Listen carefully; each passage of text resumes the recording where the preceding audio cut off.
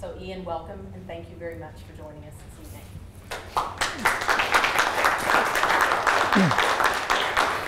Well, thank you very much, um, both to, to Gail and to Letitia for those warm words. And also, Kia ora, that, that's as far as my, my language uh, skills will, will send me. But, um, um, but, but thank you uh, both for uh, being here tonight and, uh, on, on this evening. Um, ho hopefully the room won't be too shaky for us. Um, but also, um, I'd like to thank um, the University of, of, of Canterbury and the Erskine programme in particular for um, not just myself, but the, I think there's 50 other scholars um, here, here um, at, at, at the moment, um, to my own university um, for allowing me the sabbatical time. Um, um, they're very generous occasionally. Um, but I, but, and there are lots of links between our, our two universities. There's punting goes on in, in the rivers, so they seem to be much better here than back at Oxford, uh, where you take your life into your hands. And I thought I'd show you some pictures of of um, the current uh, weather in, oh, well, it's actually not true, it's, it's more raining than snowing, but you can see why Sally and I thought it might be a nice idea to, to come over, over here at, at, at this time of year. But more importantly, um, is, is the chance to, to exchange ideas and views. Actually, the first person I met here, um, Steve, Steve Agnew, is, is, is an economist and, and an ex-teacher, and it's that sort of exchange that, that I'm, I'm, I'm really uh, valuing and, and in, enjoying here. Um, what I want to start off with is, is thinking about what sort of teachers do, do we need. Now, I'm new to this country. I've been here uh, a month, um, learned a lot about about um, the schools here and the changes that are, that are going on. And it's really interesting to, to hear the echoes um, and in some ways some, some dangerous echoes, rumbles, I, I might, might say, of what's going on uh, back, back, back at home. And so, I'm, but I'm going to pose what, what, I talk about within the context of what's going on in England, and I say England because the education systems are different in, in Scotland, Wales and Northern Ireland, and actually much better uh, than, than, than in England. Um, but I'm also going to, to try to pose this in an international way as well, because I think a lot of what I'll be talking about will be highly relevant um, to, to you. Um, and firstly is the idea of, of initial teacher education as both a policy and quality um, problem. It's an idea that, that particularly um, the famous uh, American scho scholars, uh, you know, Darling-Hammond and, and, and co talk a lot about. Um, but it, but it is, it, it, it's, it, it's a real issue um, within the whole of Europe, across uh, America, and, and obviously over here. Not just questions about what constitutes effective initial teacher education and professional development, because, because they are highly politicised uh, areas. I mean, education, uh, uh probably more than any other field of, of academia is highly politicised and those of us who work um, in, in, in an applied sense as well will, will, will know that to our costs at, at times. But there have also been concerns raised about the relationship between universities and, and, and schools, um, the roles of, of university, wh wh why, we, why we even do it, um, the roles of school partners in te teacher uh, prepar preparation, and then the, the nature of learning, how you learn to become a teacher, um, both on the job and through professional practice. So I'm going to touch on, on some, some of those things. Um, I'm also going to look at some of the challenges that that perhaps presents us and maybe a provocation um, for, for ourselves to think about you know, just why we're doing this. Um, the government in, in England in particular, though they're a national government, so they'd love to run this across uh, the UK, they particularly favour school-based training. Now, school-based training is something in Oxford we, we've done all the way through the internship, as we call it. It's always been a school-based system. In fact, the system in the UK is very much based on that, that Oxford uh, partnership. But by oh, school-based only, they mean to withdraw completely the universities from the, the, the set sector. Um, qualified teacher status should be accredited, the government says, by those who know best, and they don't mean myself and they don't mean yourselves, they mean by head teachers who, um, who are very hard-working people and, and, um, and, and under a lot of pressure, but they don't necessarily have the same object motive in terms of filling um, people in front of their, their classrooms than, than, than we would. The questions that we would have um, from university side and ironically, of course, in Oxford we are listened to by government because many of them went to Oxford uh, um, and so they like to listen to us, but they don't listen to us in terms of policy. We say to them, well, what about partnership? What does that really mean for, for partnership? Um, and we say to them, the who, what, where, why and how of IT is, is particularly in, important. We talked to them about the crisis in recruitment in, in teaching in, in, in England in particular, though it's true across Europe, and, and retention. These are real issues in, in England, so if, if, if any of your teachers are looking for a job, they will easily get jobs, as you probably know to your cost actually, because there are lots of New Zealand teachers um, and Australian teachers and Canadian teachers and South African teachers teaching, teaching in, in, in England.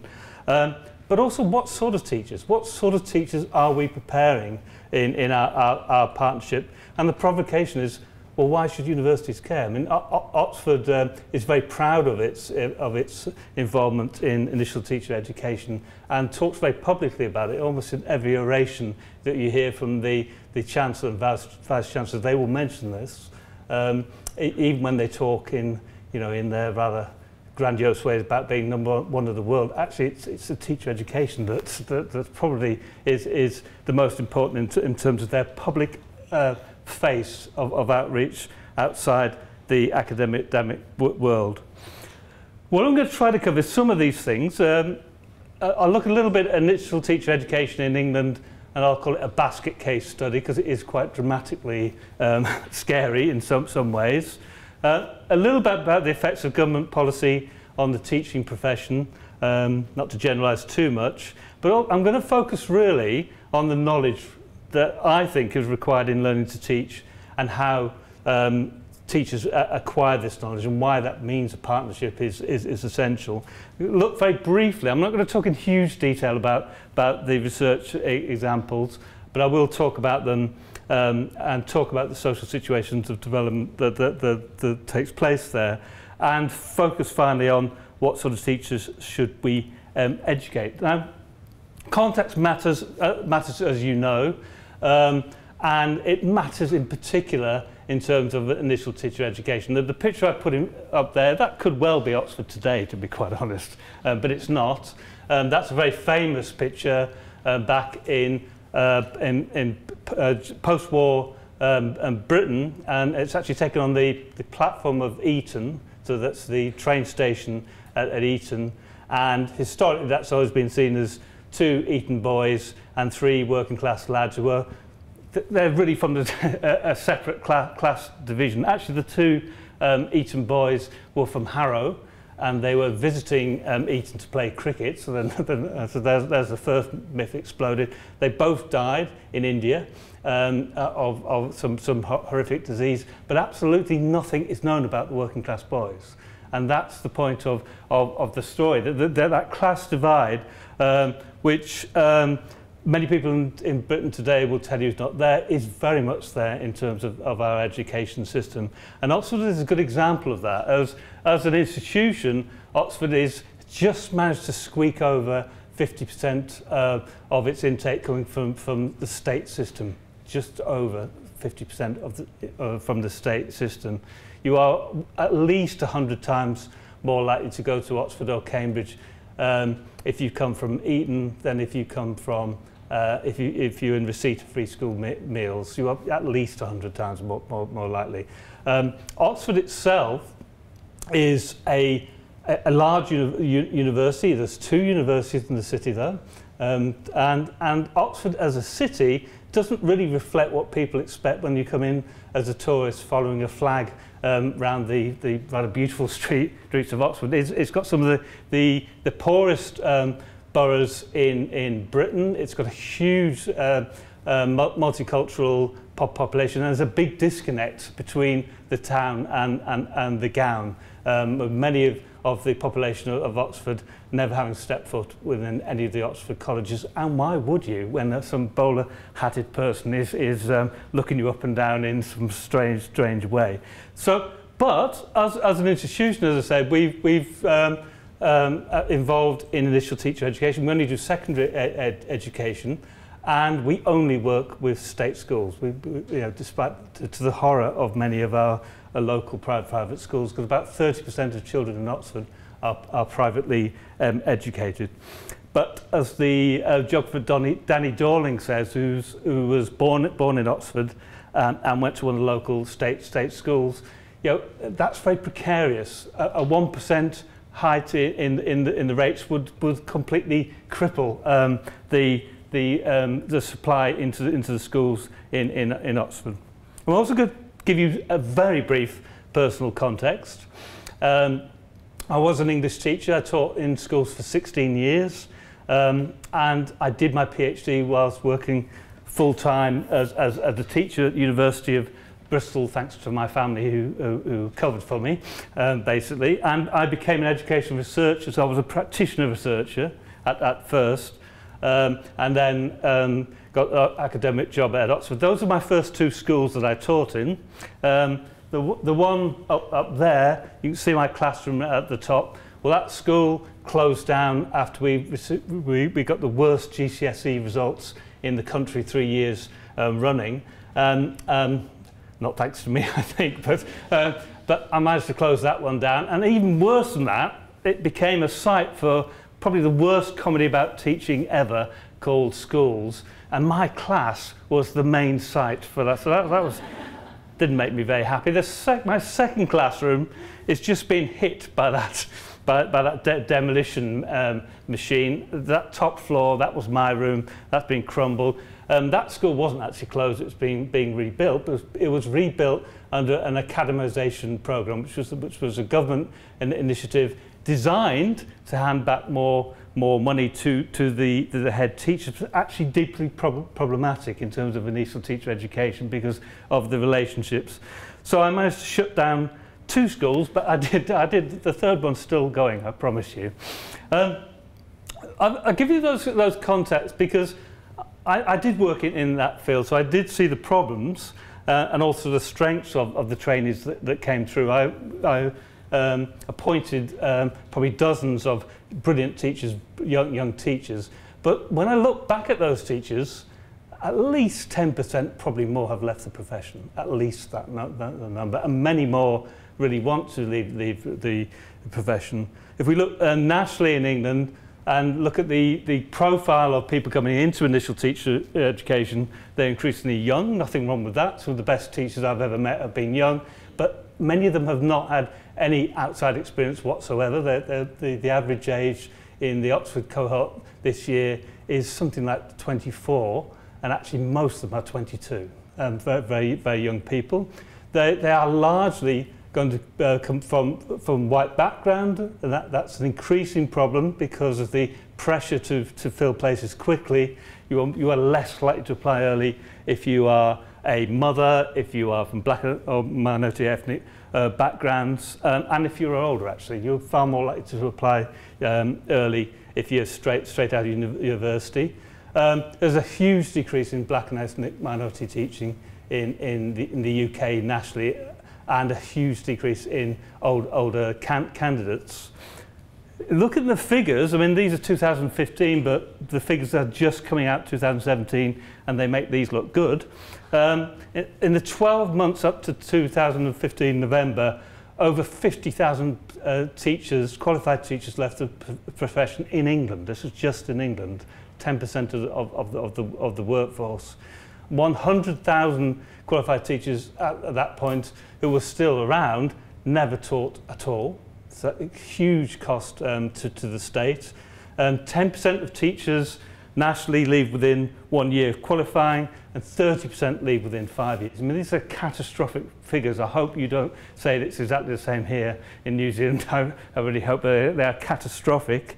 Huge increase in unqualified teachers. In that year, 2015, 2,200 uh, places were filled by unqualified teachers.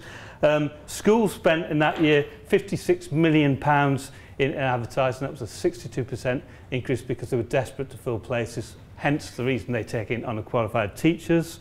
Um, teachers who are in, in, in sight and had an A-level qualification in the subject, well in mathematics only 75% of their teachers had an A-level qualification. This is not degree level, this is A-level qualification in mathematics. In physics it was 62%, and in English, um, 78%. I mean, really, uh, you know, a, a seriously underqualified uh, percentage of those workforce.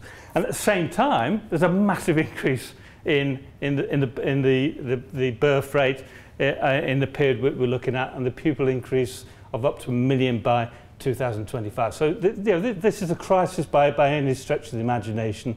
It took the government seven years to admit to it, but they now have. Um, Their response has been to diversify um, in, in the sense of getting more teachers, but also particularly to decentralise uh, IT, to take it away particularly from the, the universities, though they haven't really touched the Russell Group um, universities. They, they really want to attack what they see as the new um, universities. Um, and they want to change the terms. They don't want to call it initial teacher education because that suggests there's an academic side to it. They want to call it initial teacher training and there's a, a, a loaded sense in that.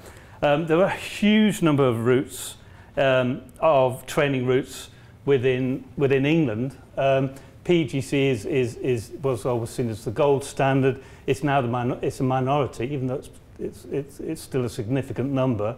School direct, both salaried and non-salaried. Um, School-based um, initial teacher training, Teach First, and modelled on Teach for America. Um, so I'd never even heard this before I started lo looking up, up for, for today. Premier Pathways. Well, Premier Pathways is, is if you're a school with some money, you can invite someone with a first class degree and sort of hand them a, a, a qualified teacher status. Uh, in schools, that's an interesting one. Sounds lovely, doesn't it? But it's, it, it's to do with people who've got PhDs, again, being fast-tracked through the, the, the system and not actually having any um, link at all with, uh, uh, with, with higher education, apart from the sort of rubber stamp job at, but at, at the end. Um, there are massive bursaries in the UK for shortest subjects. Physics is the most obvious one, where they are paid or given £30,000 tax-free a year to, to become to train for a year, and yet they still can't fill the numbers at all because uh, it, it, um, they, they tend to earn far more el elsewhere. Qualified teacher status is no longer compulsory in English state schools. You know, it still makes me shiver when, when I hear that, but it, it's, it's true, it's completely been deregulated. And the consequences of this turn to school-based only, only, only routes, for many head teachers it seems logical. They think, yes, we'll do that because it means we can fill um, our, our places, particularly in some of the inner city areas where they're desperate to have people. But, but they are, I think, dooming many of these trainees to fail because they are only training them to teachers within their schools. They don't have the, the skills of reflection, they simply don't have the time. Plus, because they're being paid by the schools, they are directly responsibility from day one for their, for their, their, their, their students' progress and the qualifications at, at, at the end, end of it. Um, the question, of course, is, are less qualified and less critical teachers more likely to leave the profession? Well, I'd like to say yes, I'm sure that's the case. Statistically, that's not, not been proven. Actually, everyone's leaving the prof profession, but my feeling is that this is, uh, this is likely to get um, worse. So what does a university offer? Well, um, there was a little man called Michael Gove, who's another, um, um, he's, he, he's a, uh, and I'm a, a, a graduate of, of Oxford University from Lady, Lady Margaret Hall. Um, he was the uh, Minister of Education for, for a while. Um, and he's an ex-journalist, I'm an ex-journalist too, so I can understand his, his rhetorical devices. But he, he attacked the university um, initial teacher education, um, the whole cohort, as, as what he described as the blob. And, and he, he reiterated the Marxist blob. So the whole of initial teacher education in, in England and, and the UK, according to Michael Gove, was a bunch of Marxists. Now, some, some people are. Um, and, um, but, but, of course, that sort of blanket um, blob, blobbishness was a sort of a, a, a very deliberate uh, um, way of, of trying to undermine what universities offer.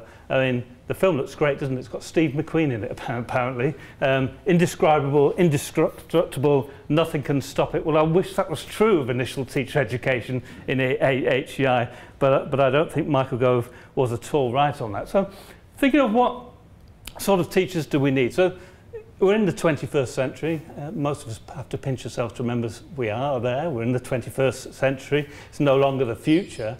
Um, but there are two popular misconceptions of, of good uh, initial teacher education, which, which, are in, which are really deeply problematic in, in the English system. The first one is, is that top version of the, the apprenticeship model, and, and the government is actually bringing in an apprenticeship model into schools where at the age of 18 or 19, schools will be able to recruit their bright young things as apprentices and, and accredit them, give them a sort of degree at the end of it and a job in, in their school. It harks right back to the 19th century origins of, of education within, within the UK, in, where, where that's what you did. You, know, you employed your bright young, young things. An apprenticeship model is something which has been rejected by most universities and school uh, part, partnership as, as, a, as a as a system which simply doesn't allow criticality of, of teachers. You are just following a trade ma master. And the other one is the one that the government uses all the time, that teaching is a trade or teaching is a craft, as Michael Gove put it, something that, that you can learn, something you just follow by, by, by following the masters in, in the profession. Now, of course, from the university academic side, there's uh, Winch, uh, Oancea and, and Orchard, um, two of them I know quite well, will, will argue against that. And they argue there's three aspects to professional knowledge. The situated understanding of um, from, from Aristotelian uh, concepts, the techne or technical knowledge, and the episteme or critical reflection. And they argue, I think quite rightly, that, that you need all those three things. That, you know, that's what initial teacher education programs are based on. And apprentice and trade conceptions are wholly inadequate because, because they don't um, have th that sense of critical re reflection. Um, if we res resort to the good old um, Oxford University um, dictionary, which is still a great institution, by the, by the way, that's one thing I'm, I am pr proud of. But if you look at what the definition of training and educating, a trained teacher, well, to train is to teach a person or anim animal, I left that in deliberately, uh, a particular skill or type of behavior to sustain practice and instruction. And the, the whole sense of initial teacher training is a, it's a behaviorist model. You follow the pattern and you behave in cer certain ways. You taught through sustained practice and instruction and you develop and improve through, through instruction and practice. Now, of course, there are elements that you do have to develop in practice, but not in that, that way, I, I would argue. Um, but education is provided with instruction in a particular art discipline. It's interesting that certain discipline uh, is one that we hold on to very dearly in, in, in Oxford, and yet within uh, groupings like Teach First, they, they, they don't necessarily uh, place their people in, in the discipline that they were trained in. They just put them in where they've got a shortage. So you might come in as a mathematics um, uh, specialist and end up teaching MFL because you've got an A, A level, for example. So training as something. Now, if that's what they mean by training, we might be all right. But I suspect that's not what they mean at all. And we think about complexity and the multiple demands of, of, of teaching. First of all, as a, as a training teacher, you're, you're, you're, you're teaching to, to, to learn and learning to teach. And it's that space in the middle, isn't it? It's that space that, that we as, as, as researchers in this teacher education are most interested in, but also as practitioners of initial teacher education, that we are training young people to combine the, the, the roles of teacher and, and learner, and hopefully that they continue to combine those roles of teacher and, and learner. There's Linda Darling-Hammond, who um, talked about this spectacular array, there's, I think probably the Northern Lights, aren't they, of, of knowledge that teach, teachers uh, need.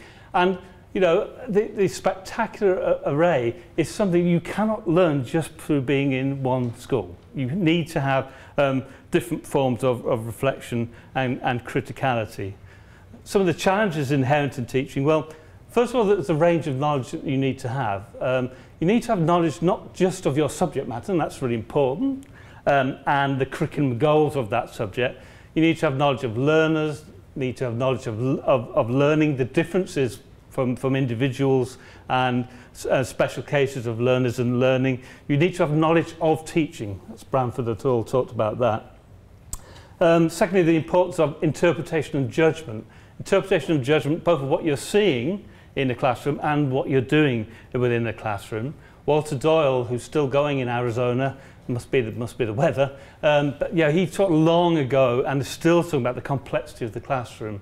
And particularly he talks about the, the fact that the classroom almost becomes a battleground where the teacher's delivering one thing and the children are trying to renegotiate that, that, that curriculum through the tasks that they, they, that they, they, they do. Um, but also reconciling those competing concerns is, is, is very much a part of, of learning um, to teach.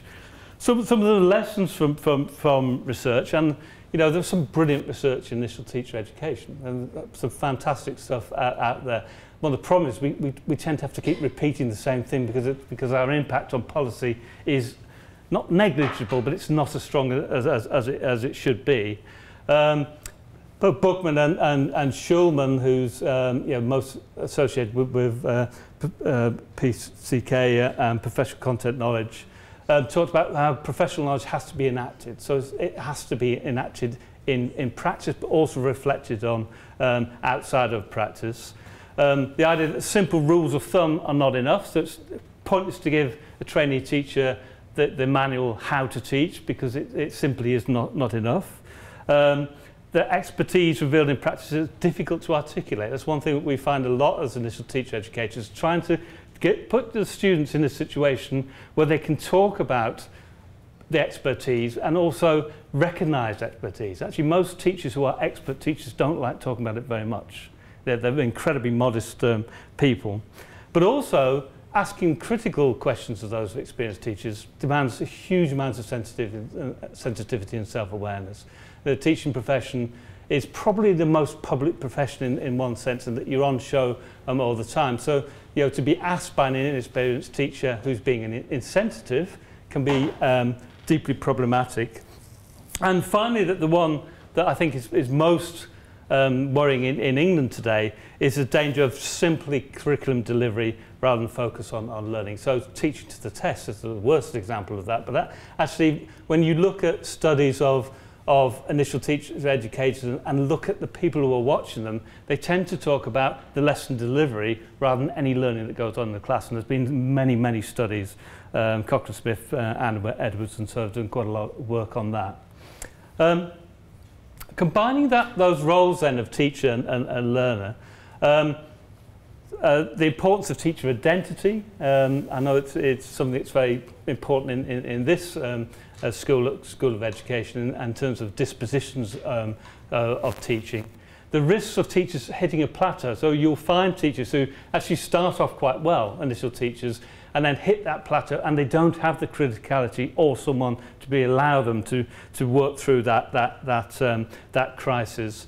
The, the Stephen Ball talks about the culture of performativity, well, it's not just in, in England, of course, but it's it, um, the fact that England has an inspection service which is, which is supposed to be um, uh, impartial, but actually is, is very government dri driven, um, which really dominates the discourse in, in, in classrooms to an extent where um, the inspections, by the way, can be called on a Tuesday and they turn up on a Wednesday. That's that's the way it works. And it, and it, and so that culture of performativity performativity and teaching the way that they think Ofsted wants them to teach you know, is, a real danger. And it hits our um, our trainees as well. They'll often be given a, a pro forma, the Ofsted style lesson, and they're asked to, to follow that um, with no sense of, of, of, of, of criticality. And the, and the real danger of playing safe, the danger of just teaching in a, in a particular way because it seems or, or, okay. It's, as I said before, highly politicized because you know, if you think of what pedagogy is, well, obviously it's the theory and practice of education, but it's also the study and practice of how best to teach and learn, I, I, I might add. But there's my friend again, Michael Gove, or maybe not my friend. Um, proper history, he was, he was having to go at history, um, um, which is one of the, which is um, one of the subjects that, that is most under attack, actually. Um, proper history teaching is being crushed under the weight of play-based pedagogy, which infantilizes children, teachers, and our culture.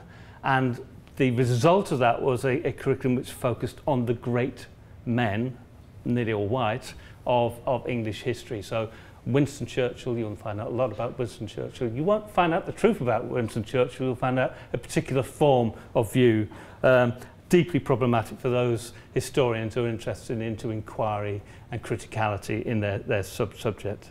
Um, for those who are coming to have the discussion tomorrow, you'll recognize that quote from Vygotsky, who was a, a Russian um, uh, psychology uh, psychologist. And that's a very different way of looking, I think, at, at pedagogy, which must be oriented not to the yesterday, not just in terms of history, but to tomorrow of a child's development. I think that, that, that's, that's where I would be coming, coming from and much of the profession. Course Hagen talks about the problems of transference. The problems of transference, both from school back into um, another, another institution, but also the transference of university back into um, and school. One of the big problems is prior knowledge or lack of knowledge and preconceptions and sense of uh, that I must know about teaching because I went through the schooling system myself. Anyone who's been a teacher will, will know you meet someone who says, yeah, yeah, I know about teaching. I, I, I was really terrible at school. I was very good at school. You know, it, it, it, it, it, it's, a, it's a problem we have as, as a profession. But one of the problems of transfers is it can feed forward the, the, the problem. Um, there are lack of obstacles because you don't realise obstacles are there. You just ignore them. You just simply ride over them because you're looking for the end game, the exam result or whatever it is. Um, and the nature of le relevant learning, if you look at the, the, the studies that come out from the UK, from America, from many other places, of, of student satisfaction, they all say we learn nearly all our things from school-based practice and virtually nothing from school, they, uh, from university. Um, that's, yeah, you know, that's, that's, that study after study has said that. And yet, if you ask the same people 10 years later or even 15 years later, it's the reverse. So it's really interesting that that, that second bit is never, never, never look, looked at.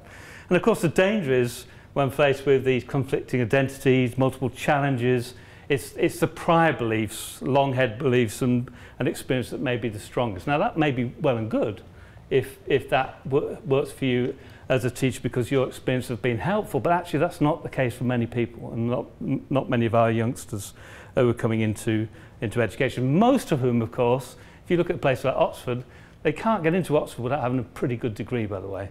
Um, and so most of them have been incredibly successful in schools. They're incredibly successful. And for some of them, they find that very difficult to translate that into understanding why other people don't find it so, so, so easy. Um, and is reflection enough? We talk a lot about reflective practice, not just in teaching, but you know, Donald Schoen's stuff you'll see on the shelves of many of other professions. Um, but is it enough? Well, I, just, I, I would argue that it's not just knowing in action or reflecting on action, but reflecting in action, which is the, the essence of what that really should mean.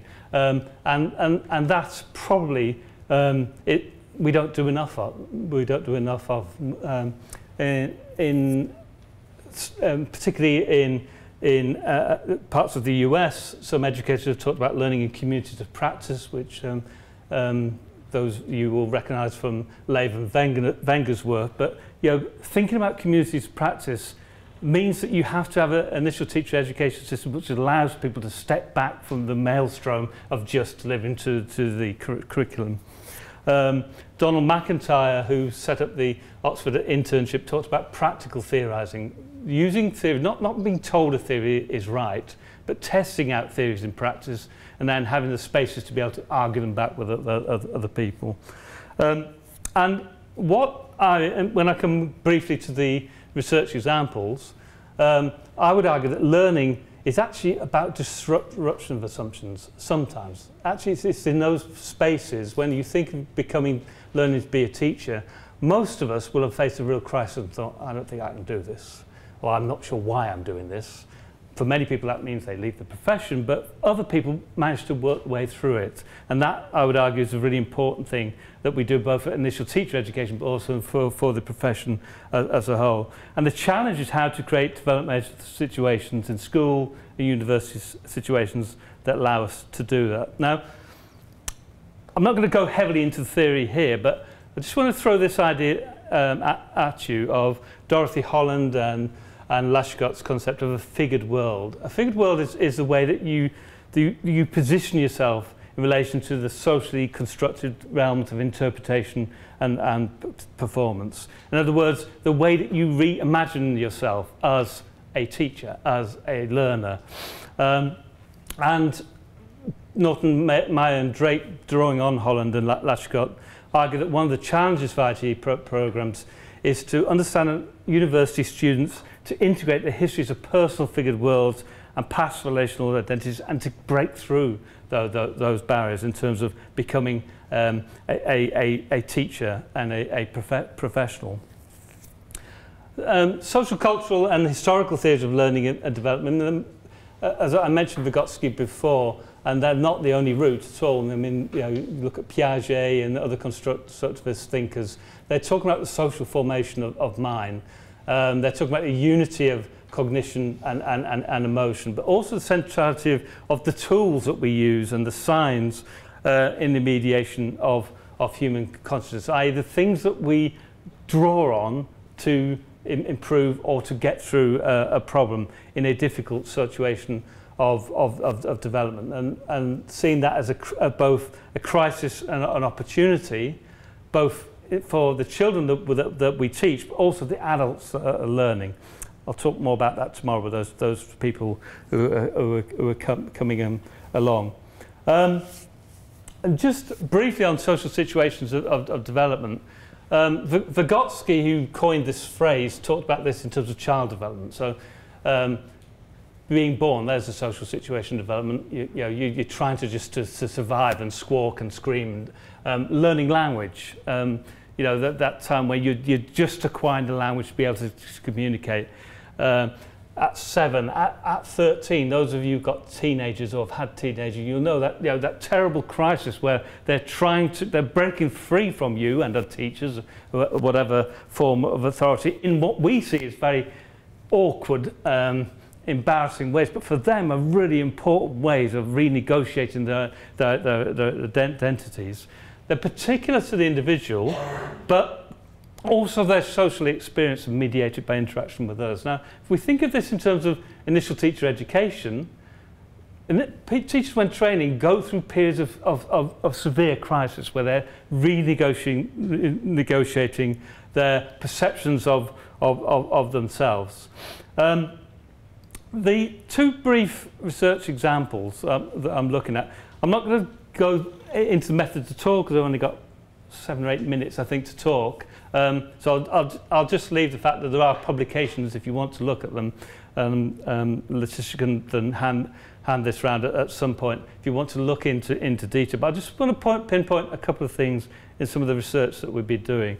One is um, uh, a two-year study of learning to teach in England and the USA, USA. It's a very grand, grandiose title actually because it's really about learning to teach in Oxford and Chicago and, and, and environs. But, uh, but nevertheless, we like to be grandiose in both Michigan and, and, and, and Oxford. Uh, but also teach route first in, in English. It, they're basically qualitative uh, case studies looking at complexity of development in times of, of change. These are two well-established programs that came from the same route. They're both um, set up by the same people in terms of their methodology and internship uh, process, whereas Teach Versus has got a very different um, historical route. Um, we looked at uh, the cultural and historical demands um, using Mariana Heidegard, who's a, uh, a, a Vygotskian scholar, but also we, we wanted to have a language of description for the instructional pedagogic practice, but at the the, the, the broad macro level, the, you know, the meso level of, of school base and the micro level of uh, individuals. Um, and we looked to the sociologist Bernstein um, for that. But we also were looking at consequential transitions, um, i.e. important points of change or development in, in initial teachers. Um, and there is the framework we, we devised for, for, for looking at this, um, looking at the way these teachers experience crises in different ways. Some of the crises were crises of personality or crises of, of learning to teach a particular subject, but actually it was only the ones who experienced a real crisis of understanding pedagogic practice and pedagogic discourse, of, of breaking through the different object motives of school and university who, who made any real um, de development. I won't go hugely in, into that, just pointing out that the point of this is to look at research through the individual transitions that we looked at, but then to not to generalize, but looking at the, the institutional level, what was affecting the institution in terms of government policy, and the way that curriculums were recontextualized in, in, in, into schooling. As an ex-English teacher, English teachers, and Megan will back me up on this, were really good at ignoring what government said. Um, I mean, we were really good. I mean, I, I, in terms of the national curriculum came in in 1988, 89 in the UK, and English teachers always said we followed the national curriculum. I don't think anyone ever even looked at it, I'm quite honest, because, it, because we were, know, we all taught Shakespeare. It wasn't very hard to teach, to teach Shakespeare, but it's deeply problematic if you are a historian or you are a, a scientist, where you're given a, a, a curriculum which is highly prescriptive and, and comes from a particular uh, point, point of view. It's, it's been abandoned, by the way, by, by government. It's part of their laissez-faire at, at, attitude, but it's left deep marks in terms of the pr pedagogical practice in many of those, those subjects, and to some degree in my, my own uh, uh, as, as well. Um, well, the findings, I mean, the findings are, are, are not surprising in some ways. I mean, trainee teachers face at least two social situation development, you know, the position as learners within the academic environment. I mean, um, most initial tertiary education programs from university background now have master's level credits and that means training of people who are not generally speaking social scientists to become social scientists in very short periods of time with very limited um, um, met methodology uh, training op op opportunities and often trying to do that in situ as well which is fascinating but a very sharp demand on on our uh, uh, student teachers, but also within the prof specific professional context of their placement schools. And where they don't get a chance to come back and discuss those, that can be deeply problematic because there can be a sharp contradiction between what they're trying to research and what they're, they're in effect trying to replicate within their, their, their teaching. But we also find, again not surprising, that experience is, is heavily mediated by both university and school educators acting as tutors and mentors. And, and it won't surprise anyone who's involved in initial teacher education to know that those roles as tutors and mentors are critical in, in, in, in all of this. It's probably just worth reminding yourself of why that, that partnership is so important because it takes both, both of those. And at times those social situations intersect in complex and dialectical interplay the way that we want it to, but other times the immediacy of one or the other may dominate the trainee teacher's time and thoughts. And, and in terms of university, that tends to be around, around the time you set them an assignment. You know, that, that's when they think about university. In terms of schools, it's all the rest of the time when they're in school. And that, uh, I would argue, is, is deeply problematic. The, the, the trainee teachers that we looked at that faced a period of disruption and then recognized that disruption. Not that they had a terrible time and then it suddenly got better magically. But they recognized they had to do something. They had to change. They had to look at someone else. They had to change the way that they, they, they perceived theoretical approaches to their teaching and so on. They were the ones who were su successful. Um, another pro project which has gone on for some years now, um, which was just within, within, the, the, the, within the Oxford setting, was perceptions of the effects of poverty on learning in initial teacher education. Um, and this, this was one which was dear to my heart in some ways because we realised that in some of our subjects anyway, less so in mine, um, some of the teachers simply did not have any sense that poverty would affect a learner. They had no sense at all. They just thought it was something in, you know, in, in, intrinsic to that learner them, themselves. And they drew on deficit models of, of, of poverty, i.e. it's the fault of the parent, it's the fault of anyone else but, but, but themselves, actually. Um, and we ran a, a, a, a piece of research for two years which had shocking findings at the end of it. You know, we thought we'd done a great piece of research, was, was interventionist, was really challenging these people. Um, and at the end of this piece of research, in both years, 25% um, of our interns, as we call them, trainees, said that, po uh, that poverty does not affect educational achievement. 25% of them at the end of a course in which we were telling them constantly. You know, quite, quite staggering, even when the research evidence and government statistical evidence and government rhetoric actually is completely overwhelming the, the, the other way.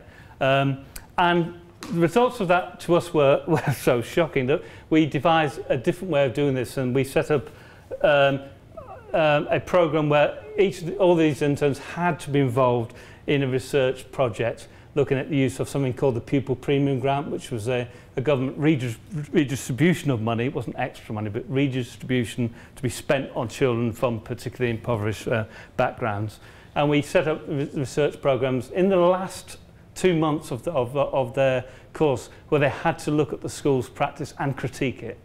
Um, got themselves into all sorts of problems and got us into some nice ones as well. But it was much more beneficial in terms of, of challenging. The first one uh, put up there says perspectives from England and Scotland because the, the, the project that we did in, in Oxford, we contrasted with one in Glasgow, which was a primary school project where um, their primary uh, teachers were, were, were put face to face with children from particularly um, disadvantaged uh, backgrounds and, and work with them and their families. They were much more effective in terms of, of changing ideas. Much, you know, it cost them a lot to do it, but it was definitely worth, worth it. And it reminds me of the community initiative um, that, that, that, that has been taken on, on, on here. Um, and the results of, of those two studies um, I think what they, what they raise concern the kinds of opportunities for creating these social situations of, of development um, to explore uh, for student teachers their own attitudes, their belief, in this case about poverty and educational achievement, but you know, uh, there are other uh, issues we could look at too. Um, and we felt that student teachers needed opportunities to bring different kinds of research knowledge to bear on the practice through the actual um, con using conceptual artifacts or in some cases the production of physical art artifacts to make it personal and, and meaning and that may be challenging their, their, their precon preconceptions. Um, agency, beliefs, identity matter because if they didn't believe there was a link between poverty and achievement then they simply did not address pupils' um, needs. And it was no point someone like me being well-meaning and saying, you're wrong, you're wrong, you're wrong, unless they were placed within that actual learning experience and then, and then had that discussion with, with the university. Um, not, nothing really, really changed. Now, just in, I've probably gone way over time, but it's my last minute since we, we, we lost 10 minutes at the start. Um, that's a very Oxford thing to say, by the way. um, what sort of teacher there? So, so when we're thinking about the original question I, I, I, I thought of, in, in England, as in elsewhere, there are teacher standards. And I think they're absolutely rubbish. They really don't tell you anything at, at all. So we want teachers to be beyond those standards. We want them to be critical and collaborative, you know, not to, to, to, to learn by themselves. We want them to be able to change the culture, not become uncultured by the cultures that they encounter, research literate, engage with theory, probably educated to master's level. I've put that as a question mark um, because you know that's not possible for, for everyone, particularly if you're coming from particular uh, ethnic backgrounds actually, but um, I think it's important. Given status, I mean, you know, we, those of us in England, we look fondly at Finland and think, yeah, that, that seems about right. But then there are no private schools in, in, in, in Finland. Yeah, the, the, the profession is, it's got very high status, it's very well, well paid. You, it is illegal to pay for any form of, of, of, of education, including, um, including trips in, in, in, in, in Finland.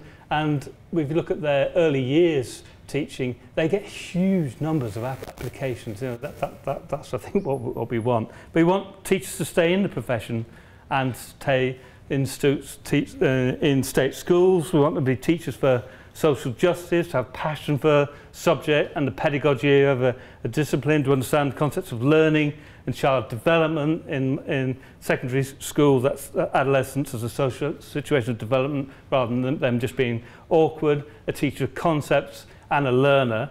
And, and to do that, what sort of ITE do we need? Well, we need to focus more on the consequential transitions, those difficult times of, of changes, looking at relationship with trainee as a learner in social situations of development, not trying to just simply smooth them over, and interpreting how learners engage with classroom tasks rather than just teacher performance. Thank you very much.